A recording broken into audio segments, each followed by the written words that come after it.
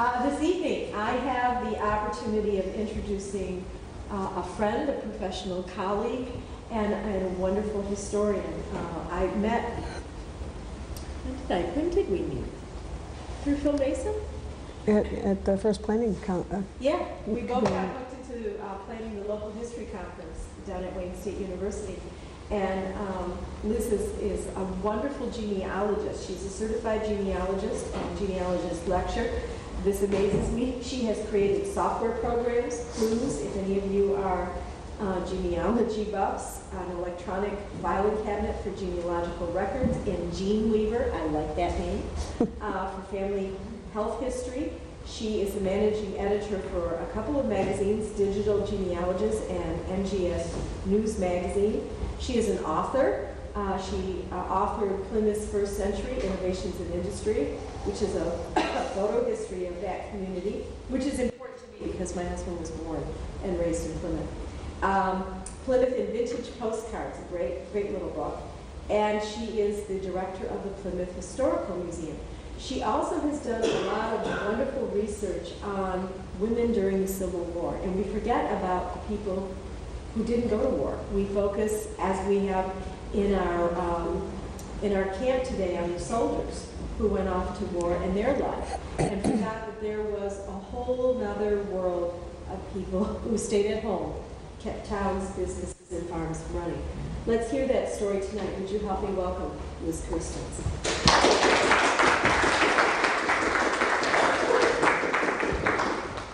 Thanks, Lorraine. Um, As Lorraine said, I'm the uh, director of the Plymouth Historical Museum, and so I'm going to give my two-second commercial before I start on my talk. Um, We have a fabulous special exhibit going on right now on Lincoln. Uh, I don't know how many of you are familiar with the Plymouth Historical Museum, but um, we're in just about a block north of downtown Plymouth, and we're a pretty large museum for a small city. Uh, and we have a Lincoln collection that um, we purchased uh, about 11, 12 years ago.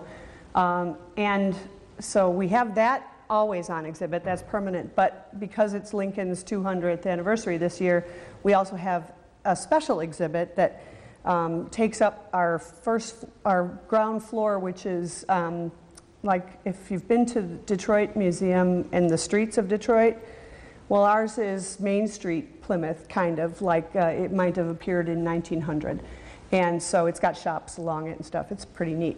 So please come see it. Um, with the Lincoln exhibit will be up until November 4th. And our admission is only five bucks. Great for a staycation opportunity this weekend or whenever. So there's my commercial. Okay, um, I'm going to talk about uh, Plymouth women and um, I did this because I just finished my master's in state and local history at Eastern Michigan. And um, this was my final uh, project that was required. I had to give a talk on some research that I had done. And um, this, I've been doing this, actually, I was studying the men for the last six years or so because we had a company of, of men. Um, form in Kellogg Park, which is in downtown Plymouth, um, in um, August 1862. And they formed very quickly, and I'm going to talk about that. Um, but anyway, they were part of the Detroit or the uh, Wayne County Regiment, the 24th Michigan.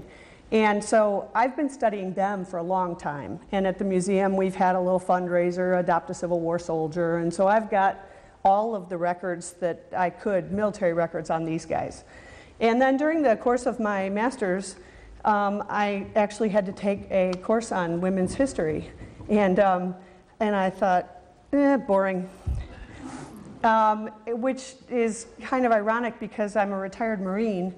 And, um, you know, if it wasn't for some of women's history, I would never have been able to serve the way that I did for 20 years. Uh, but just typical of generations now that have what people had to work so hard for before. We just took it for granted. You know, that's, that's how it's always been. So I didn't really care about women's history. And then I started taking this class, and I was like, oh, there was women too. okay, so then I got very interested, and now that's pretty much all I'm interested in And so the soldiers are great. I'm glad I've done all that research, but now I want to concentrate on the women.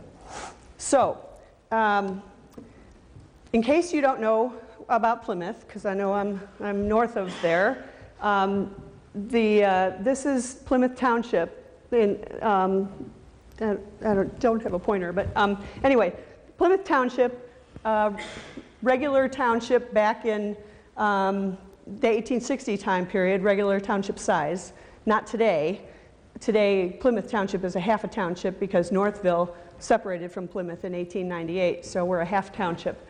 Um, Northville is up at the top in the box at the top. Plymouth is down here, and then Borodino, and you'll hear about Borodino as I go, actually doesn't exist today as a little stop on the road, um, but it did in 1860 or 18 during the Civil War. And I'm sure that most of you know where Plymouth is anyway. Um, it's right in the northwest corner of Wayne County. We're as far west and as far north in Wayne County as you, well, no, now that Northville is separated 100 and some years ago, um, we are not as far north as you can go, but we're as far west as you can go. So, anyway, and of course, Detroit is um, east of us, and, um, and, and that's important with um, with some of the relationships that, uh, that I've you know, learned about or um, found in the records because um, is even though Plymouth was so far away from Detroit, it wasn't that far away from Detroit as far as um, the people in Detroit were concerned who were looking for volunteers to make, make bandages or whatever. So um, it, it may have seemed like a long way in 1860, but it wasn't really. And Plymouth was talked about quite a bit in the Detroit newspapers. So um, that's where I found some of the information that I'm going to share with you. Okay, so um, I've been, I talked a little bit about uh, the guys from Company C. Um, the 24th Michigan was the Wayne County Regiment. Um, back when um, Abraham Lincoln made his call in July 1862 for 75,000 more men, uh, and Michigan answered the call. They um, brought to, the, the governor said, We're going to have so many more regiments. And it would have taken it up to the 23rd Regiment. And Wayne County's like, Wait, wait, we want to have our own regiment. And so they had to do some political maneuvering and stuff, but they convinced the governor, and they had the 24th Regiment, um, which was from Wayne County. So, um, in, and this little clipping is from uh, one of the newspapers. I don't remember which one. Actually, I might have that. No. Um, but they said war meeting at Plymouth. Um, Plymouth is wide awake. At the war meeting on Tuesday, 49 were enlisted and $3,000 was subscribed on the spot as bounties. Hooray for Plymouth. It is loyal. Plymouth has a kind of a unique history, and I'm actually reading a book now, even though I'm done with my master's, I still love this stuff and I read about it all the time. And um, I'm reading a book now on the, um, the birth of mass political parties. I know all of you th- think that's thrilling, right? Um, but it, in Michigan, but it's very interesting. And um, so it's from like 1820 uh, something to 1850. And um, the reason that it's such a good book in my mind is because Plymouth is mentioned all the time. And Plymouth was kind of an anomaly from much of Wayne County, just as it is today. Wayne County is very Democratic, Plymouth is very Republican. And so um, it, it, stood out then, stands out now. Um, most of Plymouth today still votes Republican. Um, so this is perhaps part of the reason why the um, Company C was formed so quickly. Uh, it was um, on August 5th that they had the meeting in the park in, in Plymouth, and this, the company was full by August 14th. And by Civil War standards, that is very rapid. Um, and so, i as I was working on these guys, I compiled some of these statistics, uh, which is also, besides the Republican part, part of the reason why it filled so quickly because of there's 100 men in a company 20 of them were brothers not all the same family but you know there was a number of them that were brothers. 12 were cousins along with an uncle and three nephews. There was five sets of brothers-in-law one set of four men and another set of three men who were all brothers-in-law of each other. And then one guy was engaged to another guy's sister. So, and that's the ones I've discovered so far. I'm sure that there's more lurking because I just discovered a relationship while I was putting this together. So um, uh, the whole company seems to have been interconnected, except for a couple people um, that were kind of thrown into the mix at the very end. Like one very young guy was uh, from Detroit and was put into the company down at Fort Wayne. Uh, and he's not got any relations to anybody. But it seems like they, they all knew each other or were related to each other. Okay, 32% of the soldiers were married at enlistment, which is a little bit high number for an average company.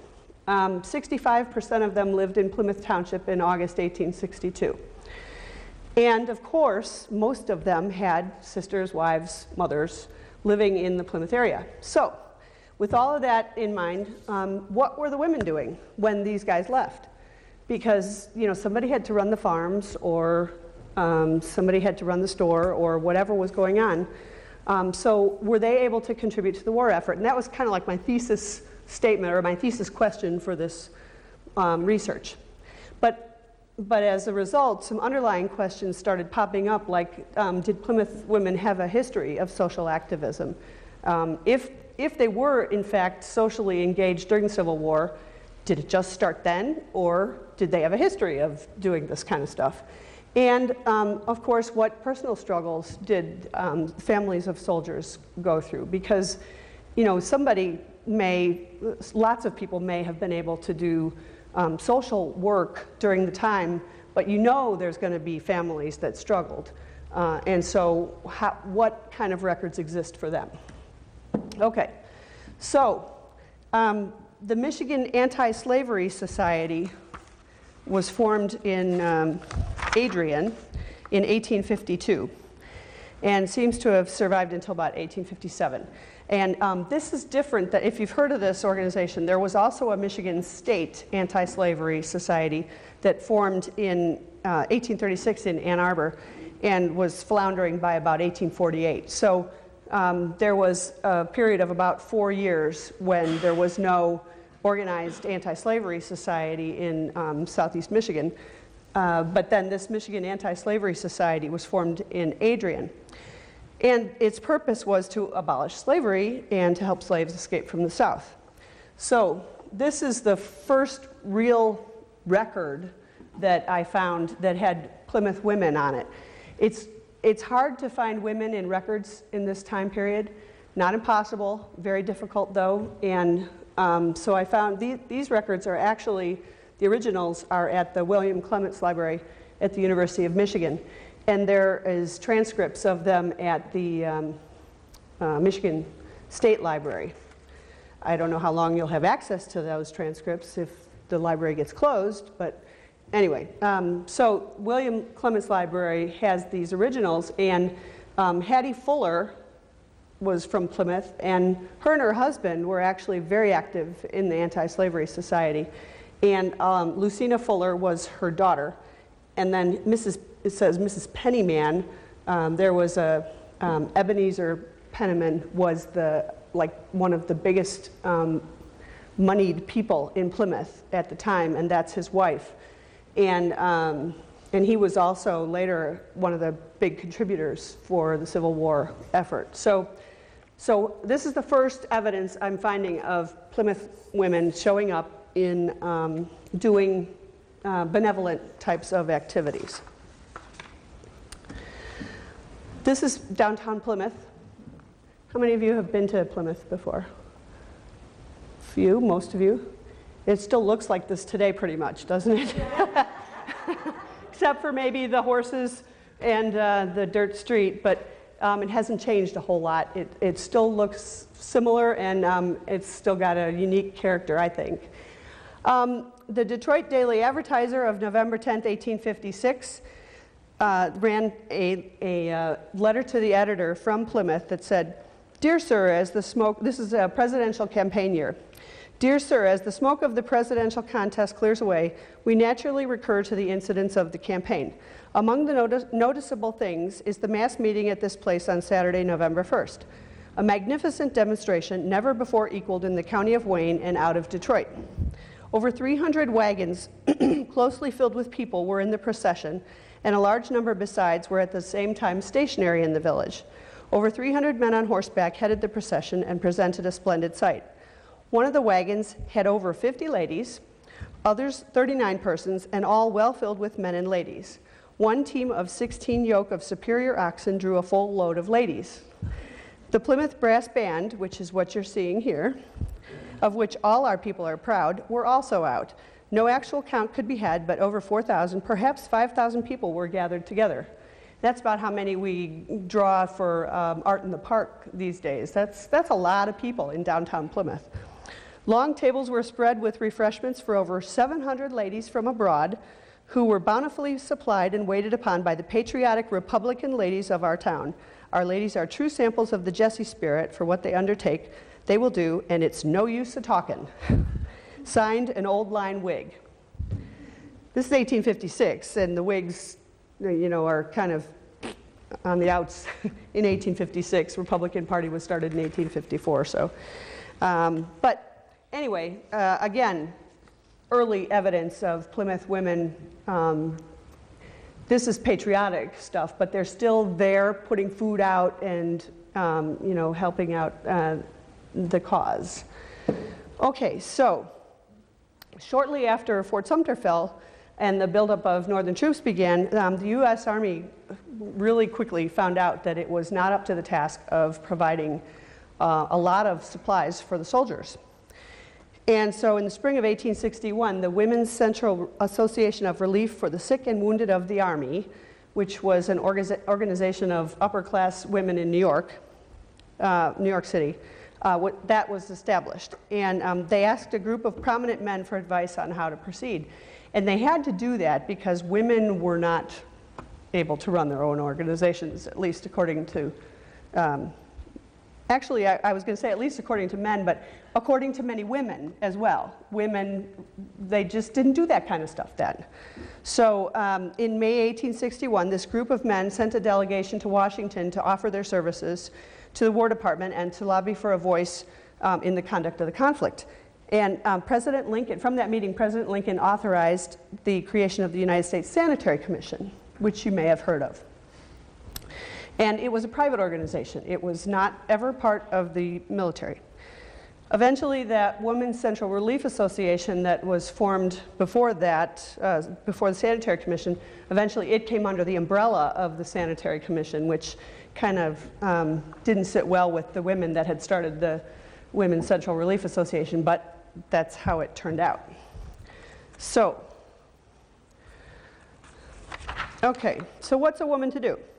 Um, women were, in 1861, lived in separate spheres from men. They did not, um, usually if they were having dinner, um, they would eat, everybody would, like if they had visitors, they would eat together, and then the men would retire to one room and have cigars and talk, men things, and the women would go clean up and do whatever.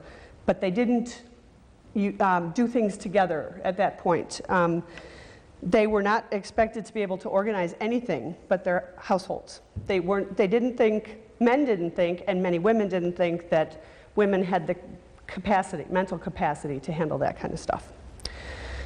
Uh, so while Michigan women had been participating in, in benevolent activities for years, um, in the capacity, under the capacity of their churches, um, like passing out Bibles, encouraging abstinence from alcohol, or assisting with the abolitionist movement, um, it, it, was just within the scope of their churches that they did these things. Although, um, unfortunately, they don't show up in church records, at least not for Plymouth, this early. Um, I haven't been able to find them in any church records this early. At the beginning of the Civil War, there were active Presbyterian, Methodist, Baptist, and Congregational churches in Plymouth Township. And they also spilled over into Salem Township in Washtenaw County, which is right, is the next county, or next township over to the west of Plymouth.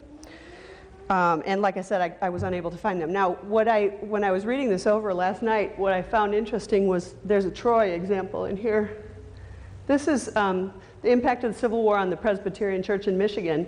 And um, this talks about Mrs. Duffield, who was um, the Detroit version of the founder of the Women's Central Relief Association in New York, she kind of got the women going in Detroit very early in uh, May 1861.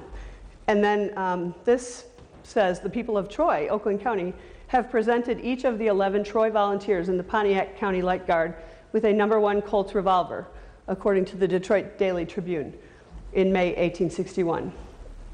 So that was actually very common, that um, as groups were um, getting ready to go off to war, that the women would either make them a flag or um, present them with various things as they were leaving. That was really, really common in Civil War. Um, so, th- but this talks about the different um, Presbyterian and Methodist Episcopal churches and the types of things that women were doing. Women of the Meth- Methodist Episcopal Church were used to working together. As I said earlier, that under the auspices of their church, they were used to working and sewing and um, cooking, so that was not abnormal. But then the, um, it says that the Michigan um, Methodist churches formed soldiers' aid societies. Um, I think that they're giving more credit to the Methodist churches than perhaps um, should be because it wasn't just Methodists. Presbyterians were very heavily involved in soldiers' aid societies, um, and so, to some extent, some of the other churches. But um, Methodists and Presbyterians were very actively involved in the soldiers' aid societies. So in Detroit, Soldiers' Aid Society was formed in, on November 6, 1861, and it became the main channel for funneling donations from Michigan citizens to distribu- distribution points in uh, Washington, D.C., New York, Chicago, and St. Louis. Uh, and then in August 1863, that society was designated the United States Sanitary Commission Michigan Soldiers' Aid Society. Um, the society was organized and operated by women, which was unusual compared to other um, societies, uh, such societies in, in bigger cities. The, the other ones may have been organized initially by women, but were taken over by men, just like the Women's Central Relief Association was. Um, but in Detroit, it was women that, um, that kept charge of the uh, Soldiers' Aid Society. Valeria Campbell was the society's corresponding secretary throughout its existence, and she was the glue that kept the organization together. She has she maintained volumes of correspondence, and uh, for whatever reason, the the stuff has survived, but it's split up between the Burton Historical Collection in Detroit at the Detroit Public Library and um, the um, Bentley Historical Library at the University of Michigan.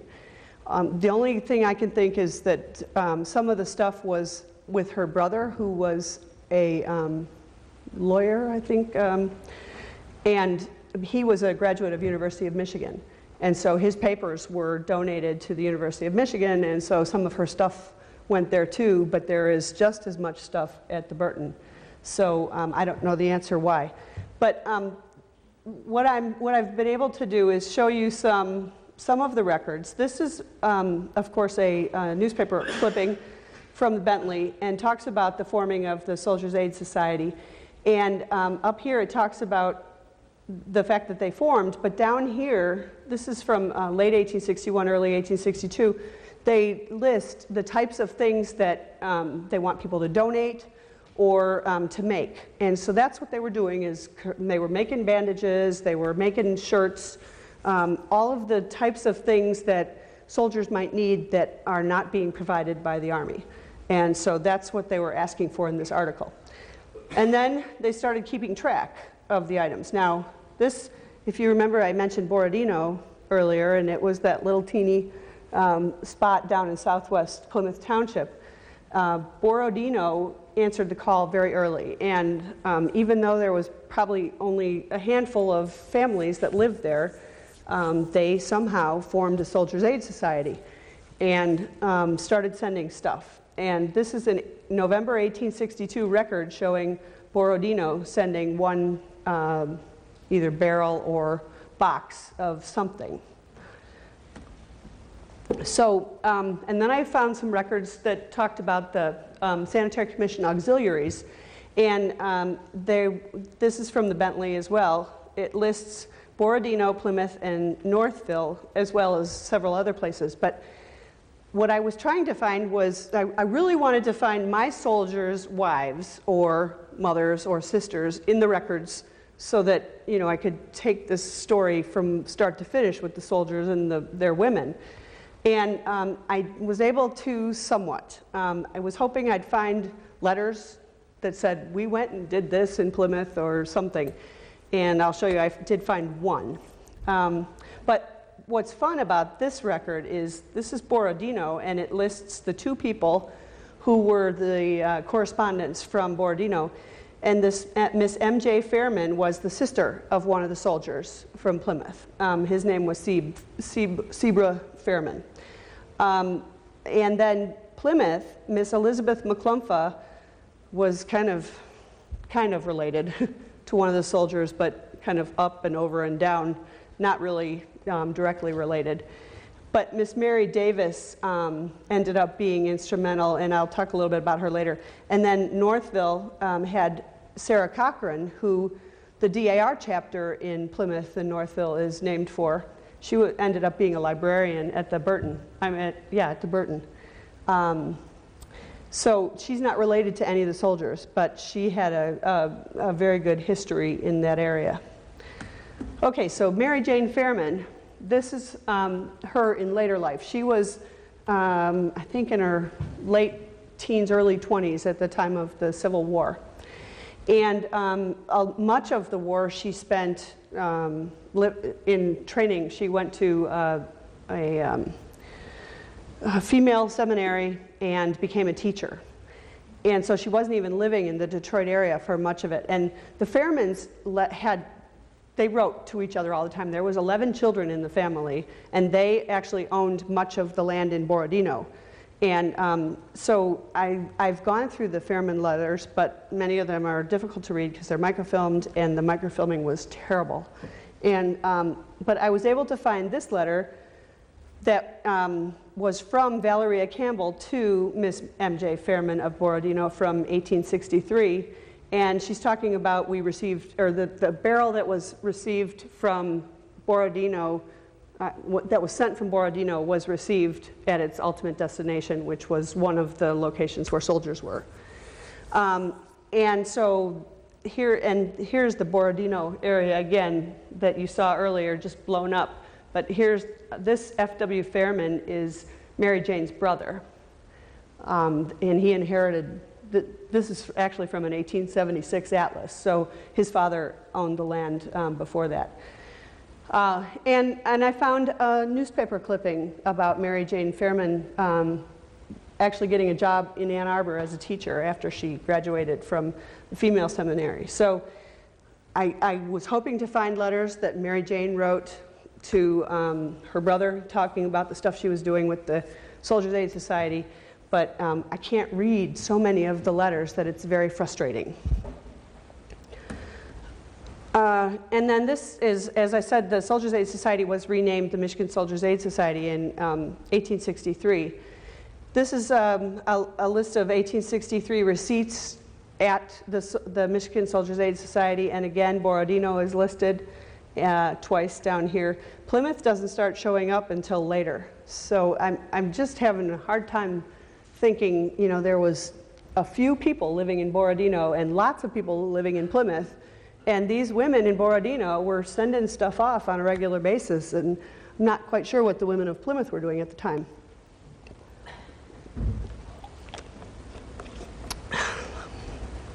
Sarah Ann Cochrane, I mentioned earlier, she was living in Northville.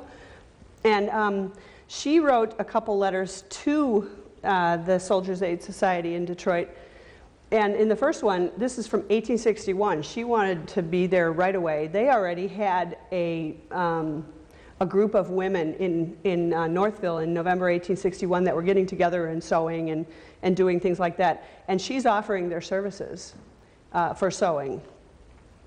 And um, this is a picture of her that's from our archives. And then I did find a bio, her obituary said that she was active during the Civil War and worked for the U.S. Sanitary Commission. Like I said, it's, it's very difficult to find information on women uh, in this period. And so I had to try everything I could think of. And this is where my genealogical training came in because I'm used to looking for little teeny clues in records. And so I'm looking at all kinds of records just for one little hint of a woman. Um, and, and some of these women never married. So that's actually a good thing, but um, not if you want to find your ancestors. But um, in this case, it was good because Sarah Ann Cochrane never married. Mary Jane Fairman married, but later, after the Civil War.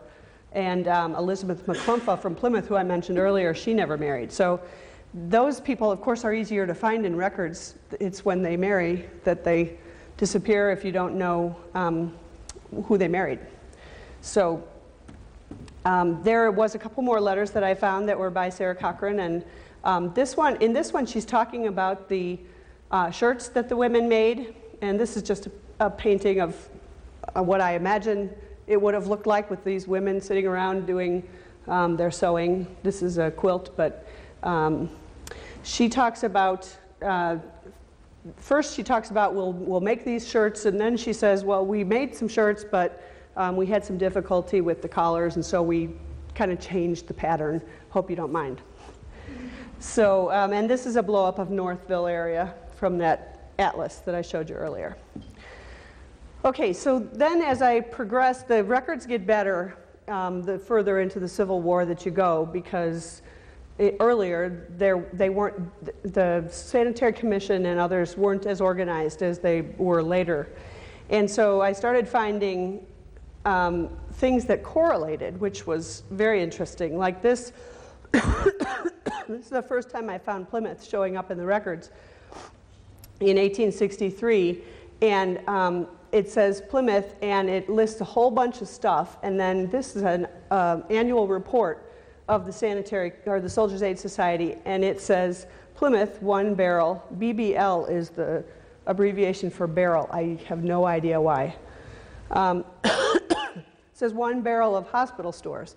And so I started finding records and then articles that talked about the records or the, the stuff.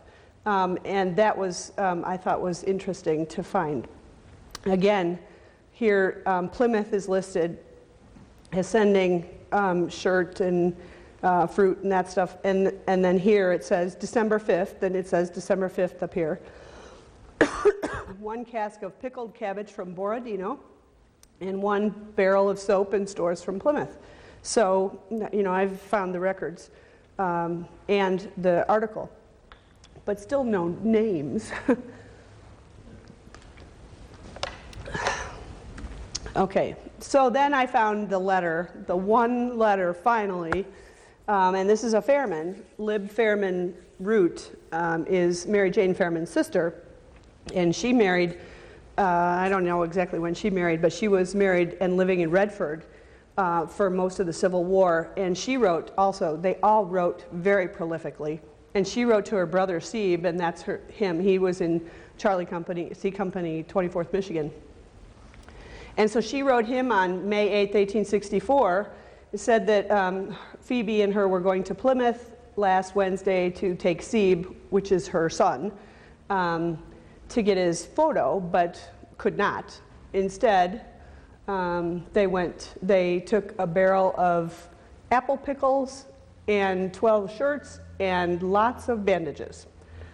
And then down here is the receipt from that same time, Plymouth, and it says 12 shirts here and uh, bandages and apples. So that was that was gold you know, I mean, finding something finally that had a name I was looking for linked to records. But that's about the only one like that, so unfortunately, so far. I'm not done with this research, but so far. Some more receipts. Now, I guess about 1864, Borodino and Plymouth women said maybe we ought to join forces because all the rest of the records that I found say Borodino and Plymouth and they say SAS, which is Soldiers Aid Society. So they must have come together at some point, um, and decided to um, help each other. Uh, and then um, later on, 1864, I found this Methodist, Baptist, or Presbyterian church in Plymouth. Um, and these are just postcard pictures of the churches uh, as they would have looked in um, Civil War. Um, I was hoping to find church records that said women were doing this and this.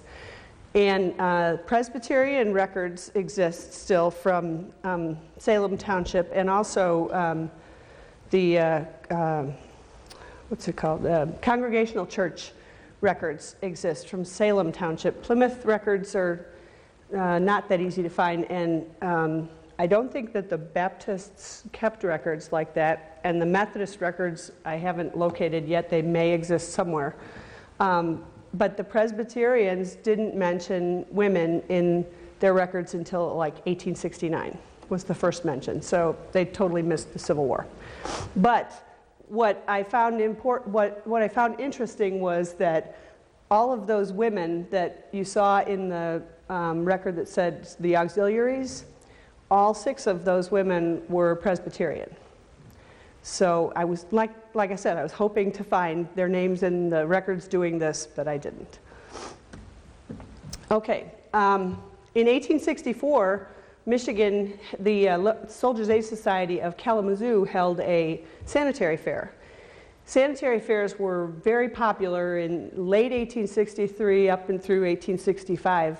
And what that meant, it was kind of like a state fair, um, but the proceeds went to the sanitary organizations to help either pay for other supplies that, um, that the women weren't making, you know, that they could send on to soldiers. Um, sometimes they split the proceeds. Uh, the Detroit Soldiers Aid Society had participated in a soldiers or a sanitary fair with Chicago um, in late 1863 and um, really got the short end of the deal. They sent over all these people, women, to help out with this huge fair, and the Chicago people never shared any money. And so Valeria Campbell, who was the secretary, um, had a bad taste in her mouth. And so when it came time to coordinate with um, the Kalamazoo people, she had contracts and had specifically stated everything that they were going to get out of it if they provided the people. Um, so, but I did find some records that were specifically about the sanitary fair, and uh, Plymouth is mentioned in them. Presbyterian Church sent some money, $18.42. Not a whole lot, but you know, if that's all they could get. Okay. Uh, let me see. Um, the the uh, sanitary fair was a complete success and netted about $90,000.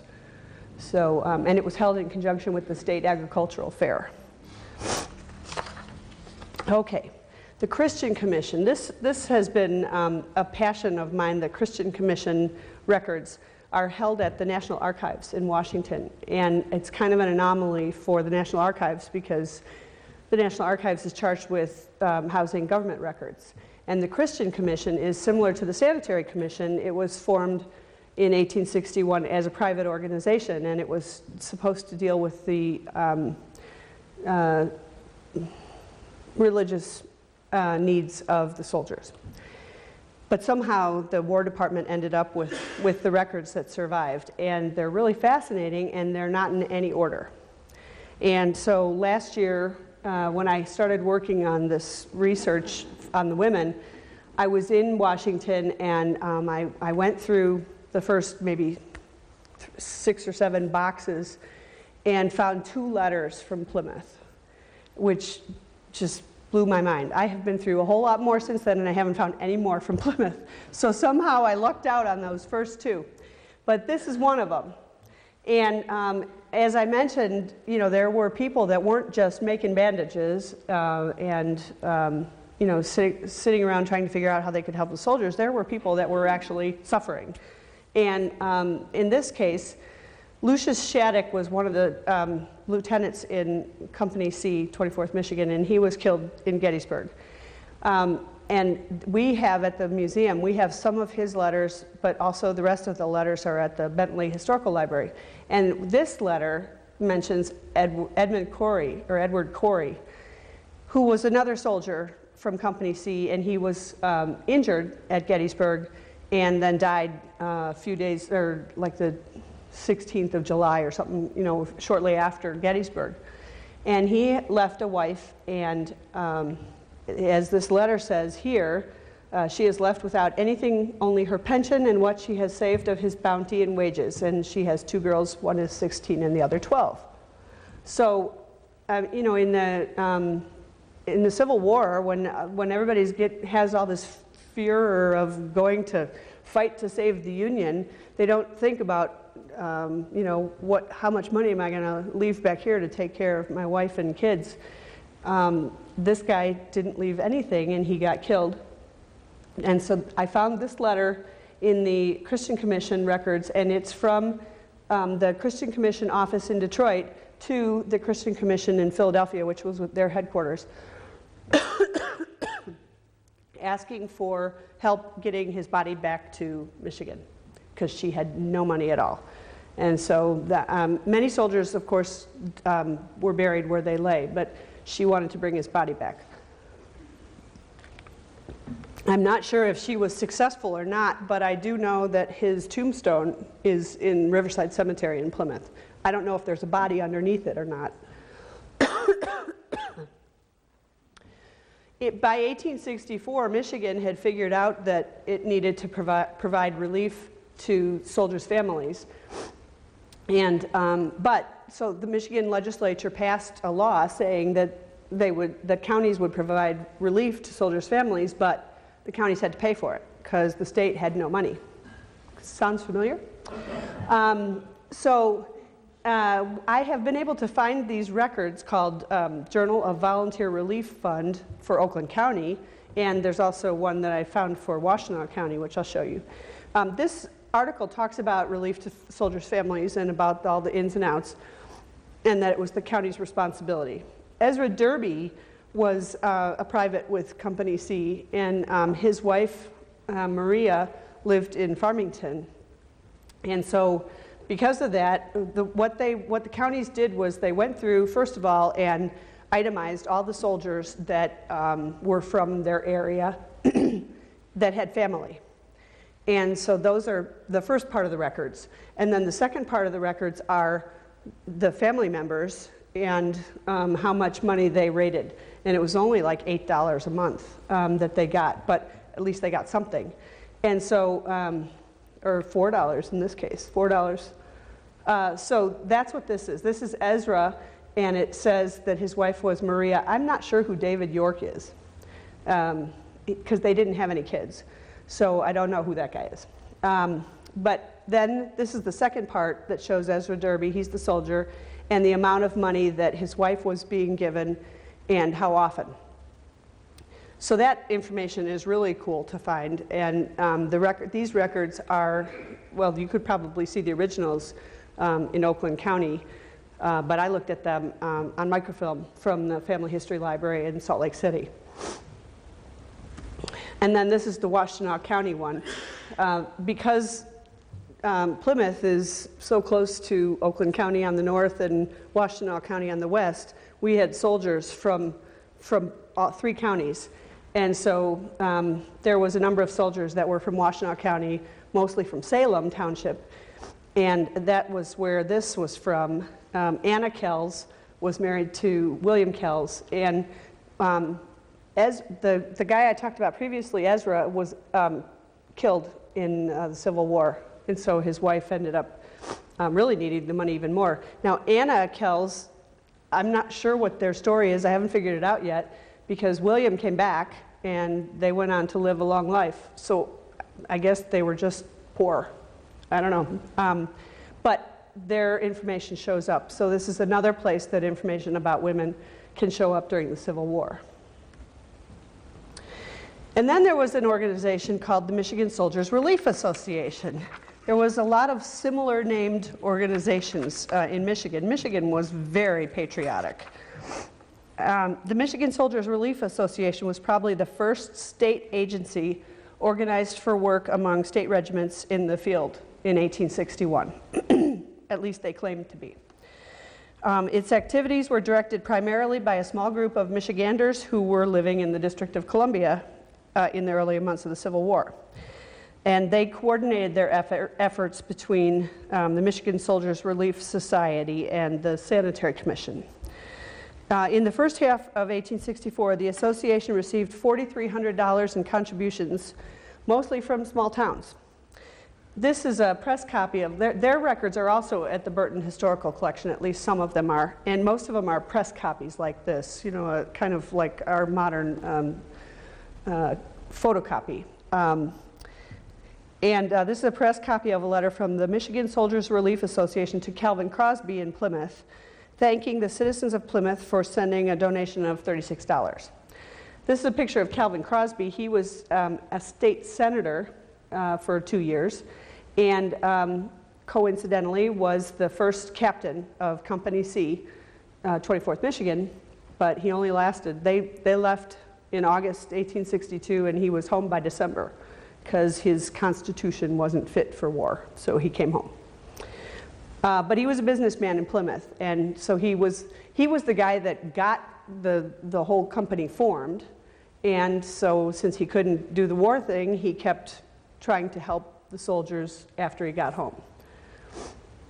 And this is another letter uh, from the Michigan Soldiers Relief Association to him, and this time thanking the Plymouth citizens for their $130 donation.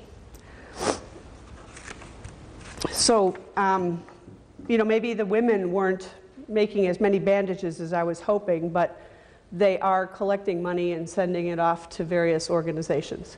There was a lot of um, fighting between the, some of these organizations, the Sanitary Commission and the Christian Commission, were um, constantly pitted against each other. And uh, the Sanitary Commission kind of um, was, was the good guy from 1861 to 1863 and kind of started going down after that. And the Christian Commission didn't do a whole lot 1861 to 63 and then started on the rise after that because the Christian Commission um, representatives that went out into the field were chaplains or uh, ministers or whatever, and were not paid. And they went for six weeks and then came back. The Sanitary Commission people were paid, and so people thought that their donations were going to pay these people, and there was all, all kinds of controversy about that. So there's, there's lots of different records and newspaper articles about the controversy between them. Um, and this is a letter I found for at the very end of the existence of the Michigan Soldiers Aid Society. And it's from, uh, if you remember, Mary Jane Fairman that I mentioned earlier. This is her sister in law, Mrs. F.W. Fairman. Uh, she wrote in May 1867 to Valeria Campbell, who was probably by this time kind of tired of correspondence with the uh, Soldiers Aid Society, but um, still had this in her records. And um, it says, Miss V. Campbell, I forward by this day's mail $50 contributed by the people of Plymouth in aid of the suffering South, hoping to learn if the money reaches the treasurer safely. I am Mrs. F.W. Fairman. So the women are still concerned. Now they're not concerned about soldiers, but they're concerned about the people that are suffering in the South. After the war, uh, during the war, many women um, were able to do occupations that men left behind, kind of like in World War I, World War II, where the, the men went off and women had to fill the void. Um, that happened in the Civil War too, but when the soldiers came home at the end of the Civil War, women just kind of melted into the background, and it was okay with them. It, it, in subsequent wars, it became less okay each war. But um, there were some people that were organizers and had found their niche in organizing, and it was not okay with them to just kind of melt into the background.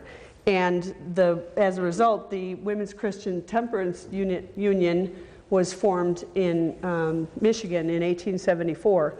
The Plymouth chapter was formed that same year. Mary Davis, who is one of the people I had mentioned earlier who was in the Plymouth Auxiliary, was one of the founders of the Plymouth uh, Soldiers Aid Society. And the uh, Women's Christian Temperance Unit, Union was um, they took up the cause of uh, temperance and tried to get um, people to stop drinking. They would um, they met in churches to pray and then marched to, to, saloons and asked the owners to close their establishments, which, you know, of course they said, oh, sure. um, but I, I, think that it might still exist today. I'm, I'm, not sure in some form or fashion. Um, But anyway, that was an organization that was in Plymouth for a long time, and it started right away as soon as it was founded. Voting, women voting. Of course, um, you know when the 19th Amendment was passed in 1920, but I'm not sure how many of you know that women in Michigan have a long history of voting before other women. And so this is just kind of a quick summary. Um, women taxpayers in 1867 were first allowed to vote in school elections. There was um, suffrage movements on and off throughout the 19th century in Michigan, and they they they um, waxed and waned, and um, lots of times before the Civil War, they took back seat to um, the temperance or um, uh, abolition movements, and um, so they didn't get very far. After the Civil War, women, some women still wanted to advocate for suffrage, but then there was women that were more concerned about getting black men the right to vote, and so women took a back seat again. So it just keeps going up and down. Um, so anyway, the, the different voting um, dates are here.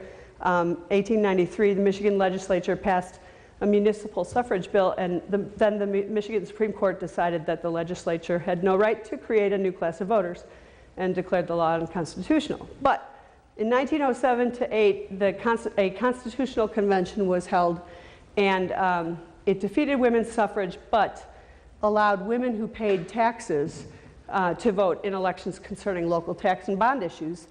And that's what this record on top is.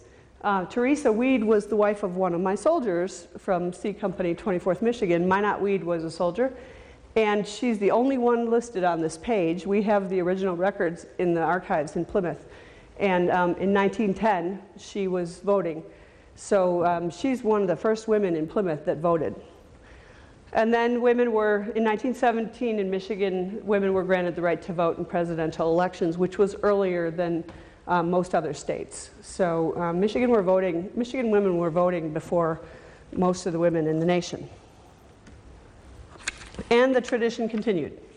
And I found this article in the newspaper, in the Plymouth newspaper from 1918 of uh, a unit of the Women's Committee of the Council of National Defense was organized in Plymouth uh, during World War I. I didn't go further than that, but um, I'm sure that in World War II they did stuff. So that's my research. And um, there's still a whole lot more to do. I hope to actually do a book one of these days. I was going to do a book on the guys. Now I think I'm going to do a book on the women and put the guys in there, but in the back. yeah, they'll get to go in there. But anyway, does anybody have any questions? Liz, Yes. I just did a presentation to the Friends of the Troy Public Library, and I started out by talking about Clara Barton and how in 1861 she was organizing the American Red Cross. Was there ever any evidence that you found that an organization with that name or a chapter of the Red Cross was established in Michigan? Um, I didn't see anything, however, um, we have some records in Plymouth of Red Cross women in World War I, I think. Um, but I, I don't remember seeing anything on Red Cross in Michigan. And I purposely did not look at women that did things that have been written about quite a bit, like women disguised as soldiers.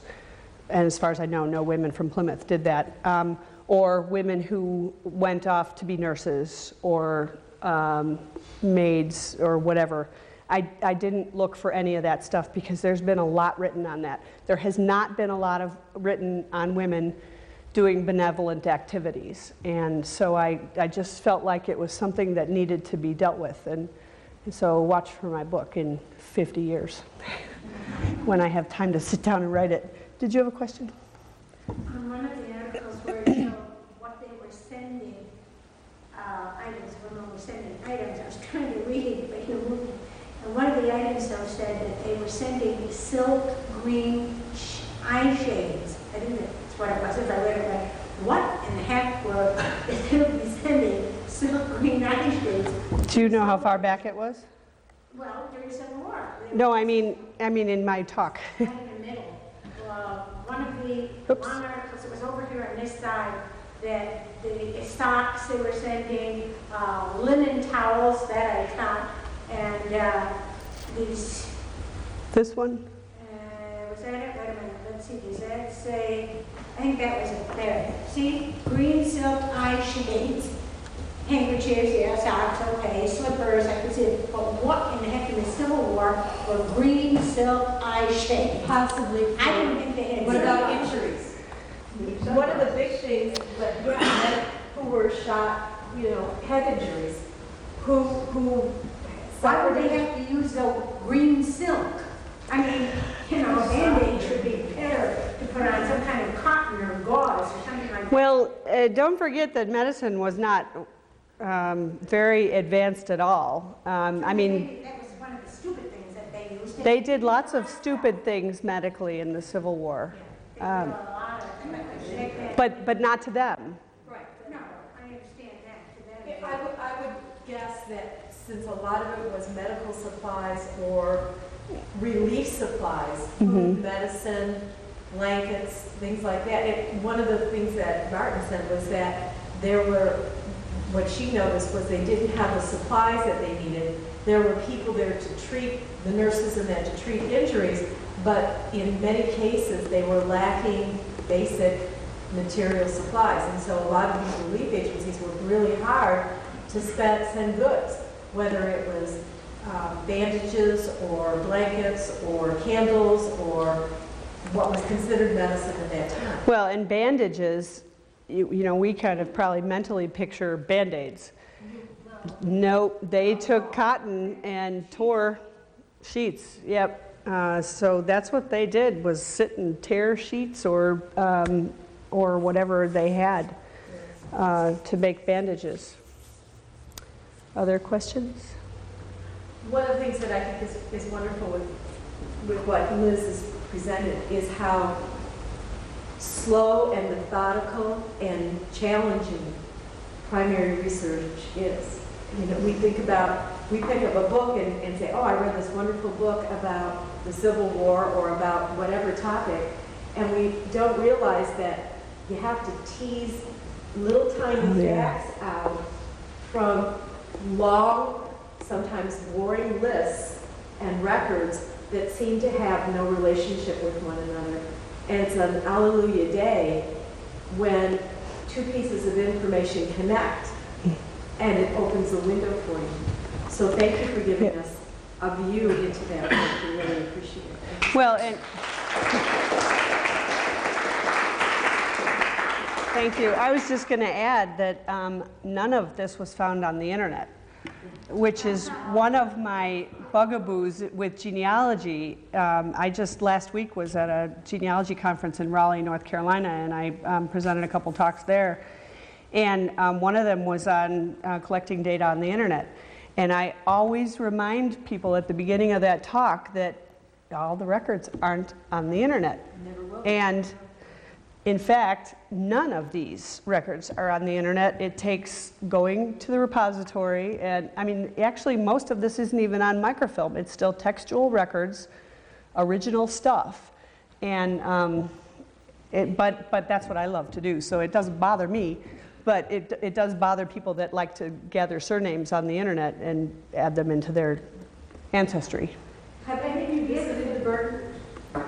You mentioned, well, you mentioned the the Burton, I think you have the Bentley in there. Burton, Bentley, and Clements Libraries. The Bentley and the Clements are both in Ann Arbor. They are both incredible repositories. with different focuses. The Bentley is uh, Michigan and University of Michigan, and the Clements is Americana. And the Clements is really kind of like one of the best kept secrets in um, great uh, historical libraries in this area, because not a lot of people go there, but they've got some fabulous records, not just Michigan. They have inc- incredible maps. They have a map collection, I think, unparalleled. They have a Civil War soldier uh, letters collection that's pretty awesome. I did my internship for uh, under Dr. Mason in the archives program at the Clements, and uh, they just have a really phenomenal collection. They also have some of the original Jesuit relations, which when I saw those little tiny, you know, it takes up this much space on the shelf. but that's some of the original information we have about this region, going back to the sixteen hundreds. So it's, it's important stuff, and those kinds of institutions truly need to have our support because they hold the history. Again, thank you. Thank you.